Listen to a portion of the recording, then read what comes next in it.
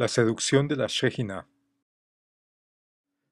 Desde fines del siglo XX por lo que va del siglo XXI se ha popularizado el uso de la palabra Shejina en el contexto de las llamadas iglesias cristianas. En la cultura popular católica romana también viene creciendo la moda de la Shejina y también hay una industria discográfica equivalente. Hay toda una industria de la música cristiana contemporánea alrededor de esta palabra al tiempo que su concepto y todo lo que se relaciona con ella viene conociéndose cada vez más. Muchos entienden que la palabra Shejina significa la presencia de Dios, pero no saben que no es una palabra bíblica. La Shejina es una palabra femenina que no se encuentra en la Biblia, sino que pertenece a la escuela cabalística, siendo de origen caldeo, que significa originalmente morada o habitación. Al profundizar en el contexto de la palabra, se encuentra que la Shejina está rodeada de todo un universo oscuro. La Shejina pertenece a la Cábala y la Cábala es una escuela de pensamiento esotérico que algunos relacionan con el ocultismo.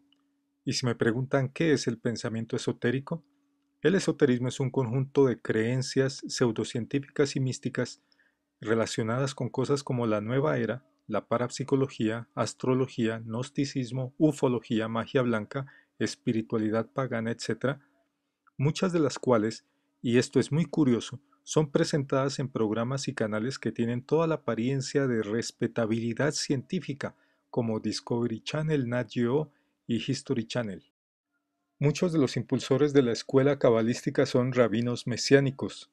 Sin embargo, las escuelas rabínicas más tradicionales e importantes del judaísmo consideran que el cabalismo es una herejía. Una de las herejías de los cabalistas tiene que ver con la revelación divina, mientras que los rabinos tradicionales afirman que el canon hebreo está cerrado. Los cabalistas enseñan que la divinidad sigue hablando cotidiana e indefinidamente y afirman que muchos cabalistas tenían los dones que habían tenido los antiguos profetas y que hoy se pueden escribir libros tan inspirados como los libros de aquellos profetas. Uno de esos libros es el Zohar, escrito en hebreo en 1280 por Moshe ben Semtov, nacido en la provincia de León, al norte de España, siendo un tratado de las ciencias ocultas y en los siglos XV y XVI será el gran libro de texto de la secta de los alumbrados en España, en el mismo lugar donde generaciones después aparecerán los jesuitas. Según la Cábala, la Shejina es la presencia femenina de Dios o la madre del mundo y corresponde a una de las esferas o vasos en los que se divide la esencia de Dios. La esfera de la Shejina, aunque no pertenece a las nueve esferas principales, pues es una esfera secundaria, corresponde a la parte femenina de Dios o al órgano femenino de Dios.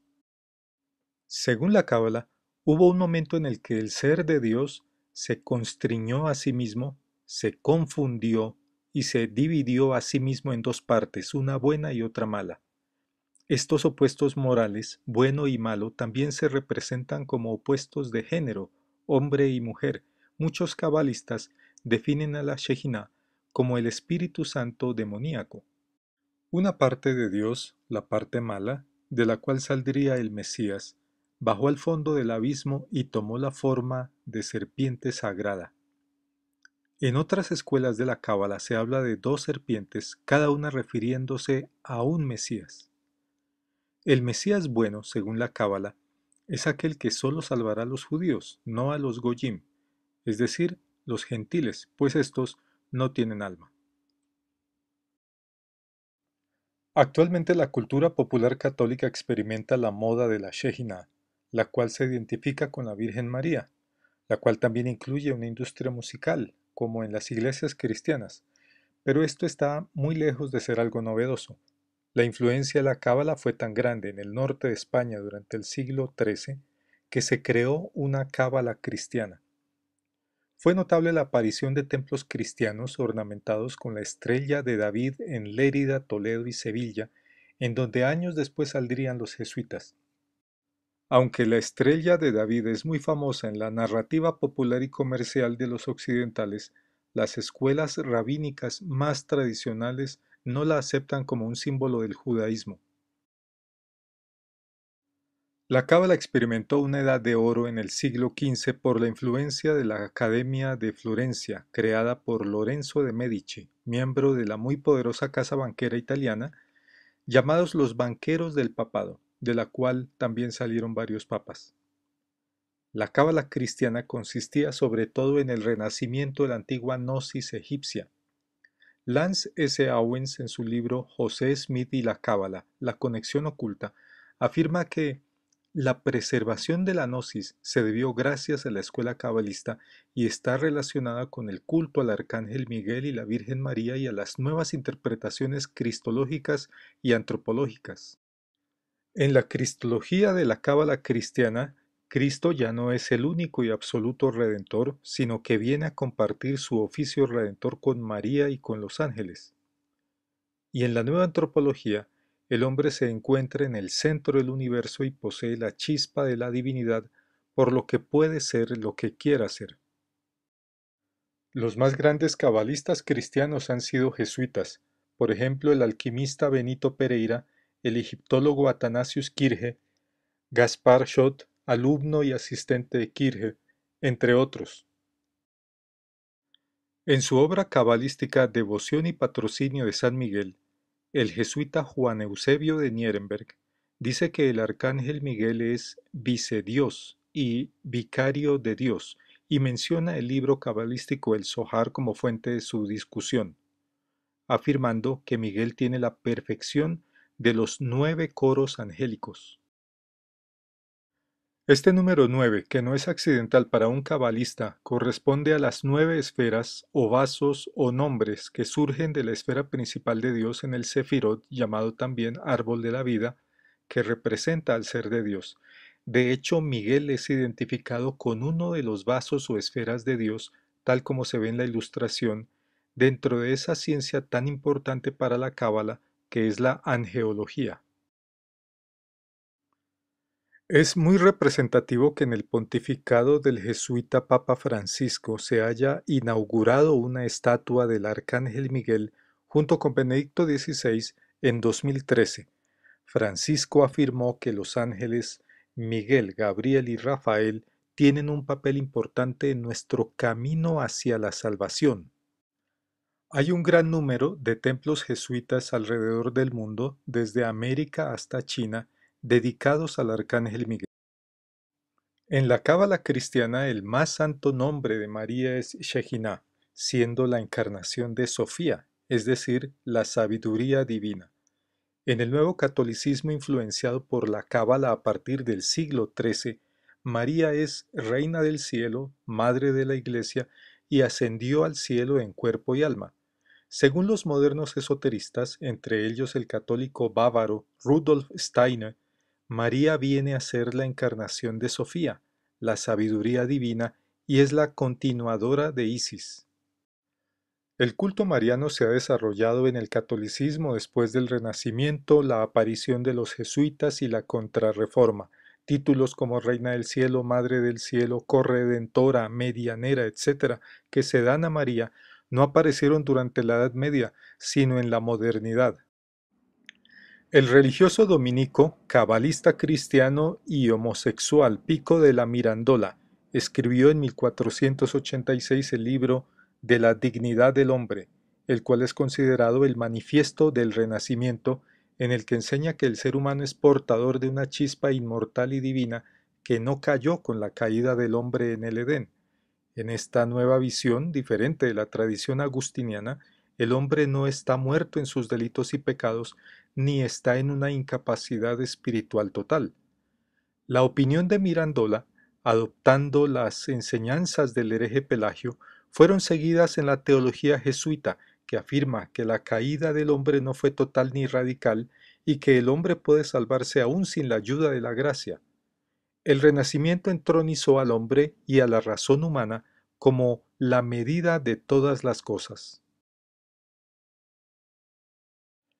La teosofía significa sabiduría de Dios y es una escuela de pensamiento esotérico más moderno nacido en el siglo XIX que intenta convertir a la cultura occidental al cabalismo. El esoterismo hace parte de la cosmovisión de grupos extraños y herméticos, es decir, sociedades secretas, como el rosacrucismo, gnosticismo, teosofía y un sector de la Compañía de Jesús o jesuitas. El esoterismo tiene un lado más oscuro aún, el cual está relacionado con la Ouija, el satanismo simbólico, el ocultismo, la espiritualidad wicana, que es una hechicería moderna o la resurrección del antiguo paganismo, y también la magia blanca. La esoterista, ocultista y medium ucraniana Elena Blavatsky, hija de un brujo, fundadora de la ciencia oculta de la teosofía, afirmaba que la cábala es una ciencia secreta. Con la ayuda de los medios de comunicación, la teosofía y la nueva era vienen realizando conquistas en la cultura popular desde fines del siglo XX. Madame Blavatsky comenta que la cábala realmente es mucho más anterior a la Edad Media y proviene de la magia de los antiguos caldeos, la cual fue aprendida por muchos judíos durante el exilio de Babilonia. Es posible que la referencia bíblica en Hechos 19:19 sobre los libros de brujería que eran traídos a los pies del apóstol Pablo para ser quemados se refiera a alguna secta al interior del judaísmo de Éfeso que practicaba artes mágicas caldeas. El texto bíblico dice, Muchos de los que habían practicado la magia trajeron los libros y los quemaron delante de todos, y hecha la cuenta de su precio, hallaron que era cincuenta mil piezas de plata. Blavatsky pretende erigir la teosofía como maestra sobre la forma en que se debe entender la Biblia. Por ejemplo, dijo que la Cábala interpreta el sentido oculto de las escrituras, explicando su significado real. La feminista y marxista Annie Besant, editora de la revista Lucifer, llamada después The Theosophical Review o Resumen Teosófico, cofundadora de la masonería femenina y tercera presidenta de la Sociedad Teosófica, fue coautora del libro Transactions, junto con su maestra Madame Blavatsky. En este libro, Besant coloca las siguientes palabras. Creo que es a través de las iglesias y no a través de la sociedad teosófica que la teosofía puede y debe llegar a grandes masas de gente en Occidente. La influencia de la cábala en las sectas pseudocristianas es muy grande. La enseñanza de la Shejina se encuentra en las sectas del mormonismo, adventismo y testigos de Jehová, que son sectas judaizantes, sionistas y premilenialistas, todas las cuales afirman que Dios habló a través de sus líderes que ellos llaman profetas.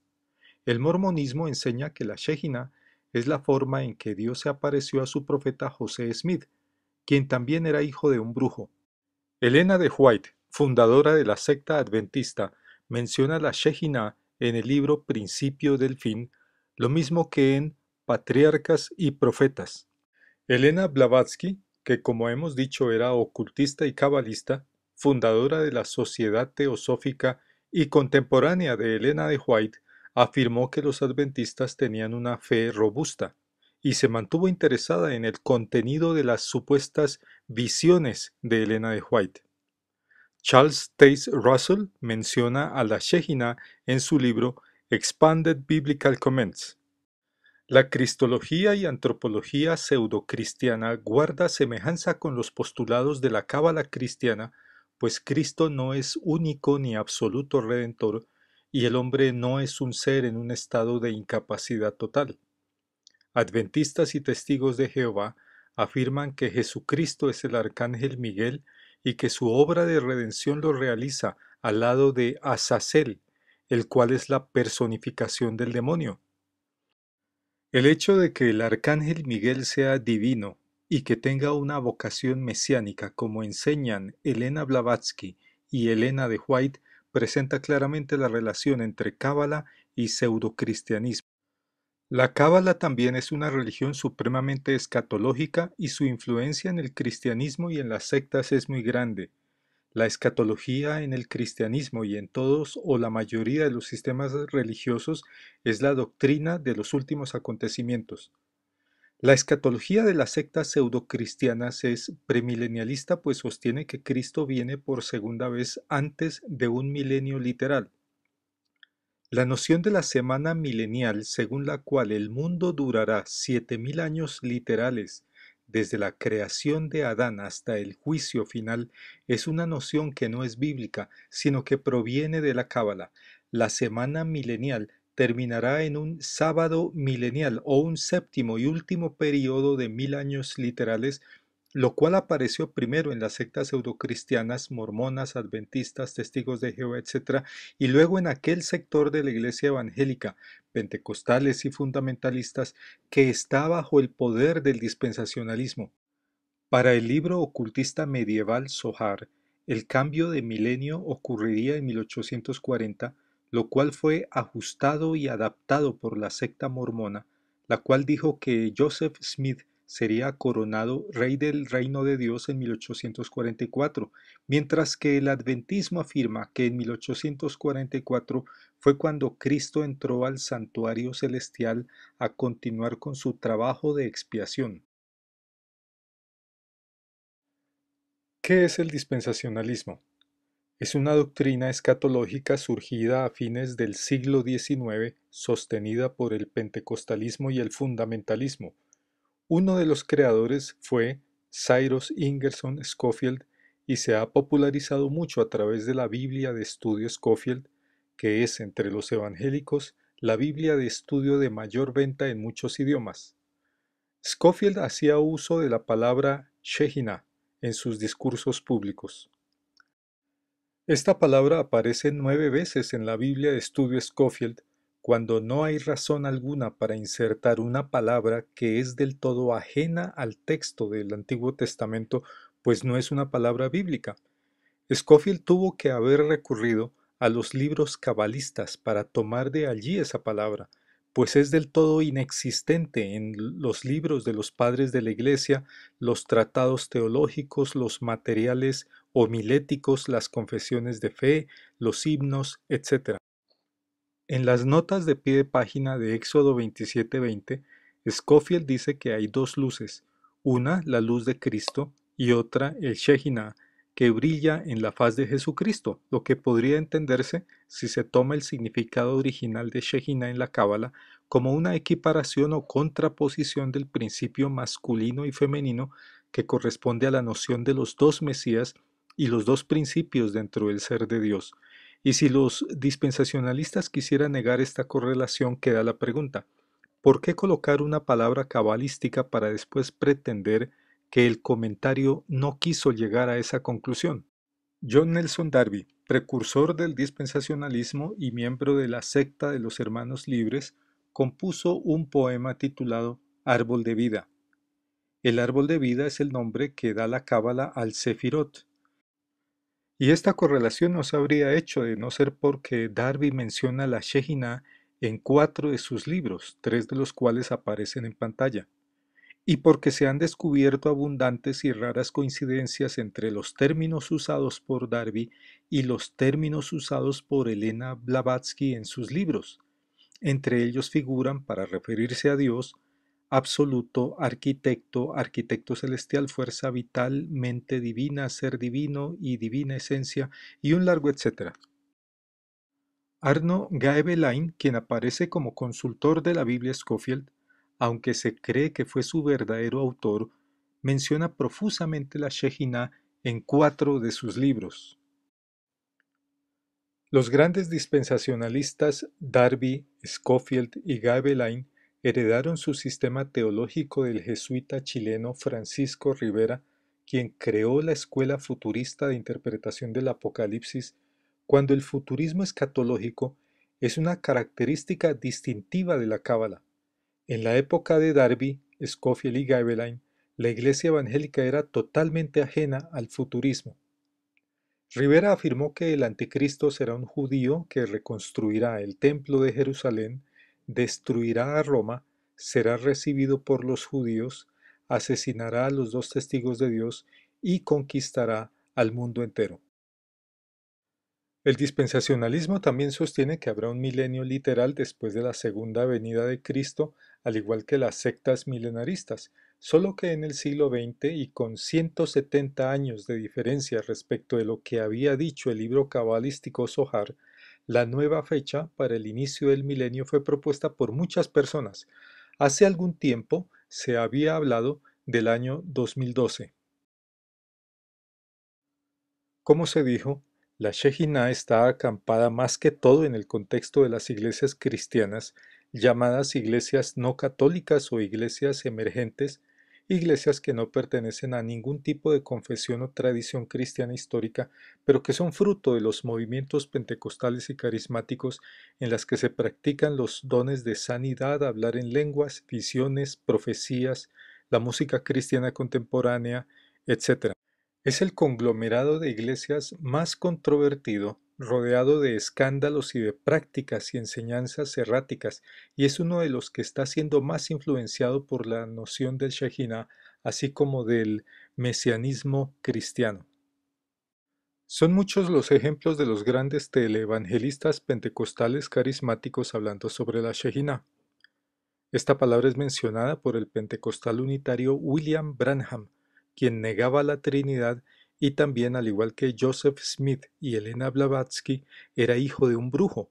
Branham creía que el zodíaco y las pirámides de Egipto eran fuentes de revelación tanto como las sagradas escrituras. En la foto se observa a Branham junto a Oral Roberts, su continuador y uno de los grandes líderes pentecostales trinitarios de su tiempo. La tumba de Branham en forma de pirámide es muy semejante al monumento memorial de Charles Russell, el fundador de los Testigos de Jehová. Brant Baker, el muy amanerado teleevangelista pentecostal y homosexual de closet, muerto de sida, fue el fundador de la comunidad pentecostal Shekinah Fellowship en 1972. Baker manifestó haber tenido una experiencia y visión de la gloria de Dios Shekinah a la que también llamó bautismo del Espíritu Santo con la ayuda del pastor Chuck Smith. Chuck Smith es uno de los más grandes pentecostales y también uno de los más grandes dispensacionalistas de la historia, quien fue muy controvertido por decir que los mormones son hermanos en Cristo y quien también enseñó sobre el Shekinah. Chuck Smith y los ministerios Shekinah Fellowship y Calvary Chapel están relacionados con varios homosexuales de closet entre los que sobresalen Paul Kane, considerado uno de los más grandes profetas pentecostales, Lonnie Frisbee y Brand Baker habiendo estos dos muerto de sida. La Cábala y el pentecostalismo sostienen que la revelación especial de Dios está abierta, es decir, que hoy día Dios sigue hablando aparte de su palabra escrita. Al igual que los maestros cabalísticos, muchos pastores, teleevangelistas y feligreses pentecostales alegan haber recibido visiones, visitas angélicas, estados de éxtasis, unciones divinas, visitas al cielo, etc. Cuando Benny Hinn, durante un discurso, afirmó recibir una revelación sobre la Trinidad, llegando a decir son nueve de ellos. Probablemente esta no sea la afirmación caprichosa de un necio, sino que podría estar relacionada con la enseñanza cabalística, con las nueve esferas o vasos del Sefirot que componen la unidad de Dios según la Cábala. Sin embargo, muy seguramente muchos pensarán que se trata de una coincidencia. Charles Capps cuyos libros son publicados y distribuidos por las editoriales carismáticas, enseñó que Adán fue un duplicado exacto de la especie de Dios, algo que enseña la Cábala cuando afirma que la imagen de Dios llamada Adán Cadmón es el primer hombre primordial y arquetípico, lo cual es diferente de la enseñanza bíblica de Adán como una criatura creada por Dios. Capps también dijo que estando en la cruz, el Hijo Inmaculado de Dios se convirtió en una serpiente para poder tragarse todo el mal. Esto es claramente una enseñanza cabalística la cual sostiene que el mal está dentro de Dios y que una parte de él, la parte mala de la cual saldría el Mesías, bajó al fondo del abismo y tomó la forma de serpiente sagrada.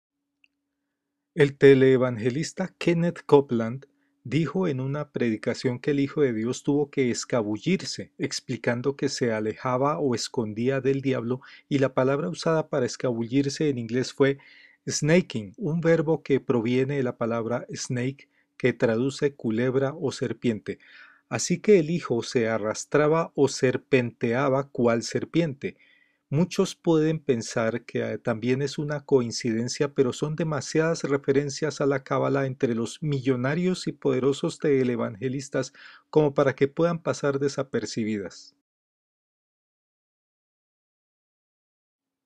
A propósito de todo lo anterior y como un hecho sin precedentes, la palabra Shekinah está empezando a ser introducida en algunas Biblias modernas, por ahora solo en inglés, fenómeno que nunca había ocurrido en la historia, insertado en el mismo texto bíblico, en traducciones como TPT o JB, pero sobre todo en la Biblia amplificada AMB en 13 lugares. Sin embargo, no hay consenso entre las mismas Biblias en cuanto a los lugares en los que puede aparecer esta palabra. Como si todo esto fuese poco, todas estas Biblias modernas se elaboraron a partir de la moderna crítica textual de Westcott y Hort, quienes fueron amigos de la ocultista Elena Blavatsky. Algunos llaman a Westcott y Hort los vasos de deshonra, debido a que ambos participaron del ocultismo. Westcott creó la Sociedad Espiritista Ghostly Club en 1851 en la Universidad de Cambridge junto con el obispo anglicano Edward White Benson, quien después llegaría a ser nada menos que arzobispo de Canterbury, a la cual asistía Elena Blavatsky y otras personas famosas de la época, como Charles Dickens, quien aparece en la foto. En el Ghostly Club se investigaban los fenómenos paranormales de telepatía, mesmerismo, apariciones, mediums, etc. Tampoco es pura casualidad que Westcott y Hort también fundaran el Club de Hermes y que Elena Blavatsky afirmara en su doctrina secreta que Satanás y Hermes son absolutamente el mismo, el dragón de la sabiduría, es decir, la serpiente. Hermes corresponde al dios del mal de la mitología egipcia, lo cual hacía parte de la doctrina gnóstica y en el mismo símbolo de la teosofía aparece la serpiente sagrada. Los extraños vínculos entre la ocultista Blavatsky y el mundo académico de la crítica textual, la teología liberal y la jerarquía anglicana han sido documentados por muchos investigadores, entre ellos el eminente historiador español César Vidal. Los profetas y los apóstoles nunca hicieron uso de la palabra Shekinah, como tampoco los padres de la Iglesia, ni los mártires, ni los prereformadores, ni los reformadores, ni los puritanos, ni los grandes misioneros, ni los grandes teólogos, ni los grandes predicadores. Esta palabra es totalmente ajena a la historia del cristianismo y también para el judaísmo. La palabra solo empezó a ser usada por unos cuantos judíos poco ortodoxos en la Alta Edad Media hacia el siglo XIII. Para los cristianos verdaderos, cualquier palabra, aun cuando fuese hebrea, pero que no forme parte de la Biblia, no debe tener relación con sus convicciones ni con sus prácticas, pues el cristiano debe remitirse a la sola escritura, la sola revelación especial de Dios. No hay razón para que la conciencia del cristiano acepte algo que se presenta con la apariencia de ser autoritativo, pero que se encuentra muy por fuera de la revelación divina. Por todo esto es un error muy grave tomar una palabra que posee trasfondos tan oscuros para usarla como una expresión de uso común o como una palabra teológica, sobre todo en la adoración a Dios.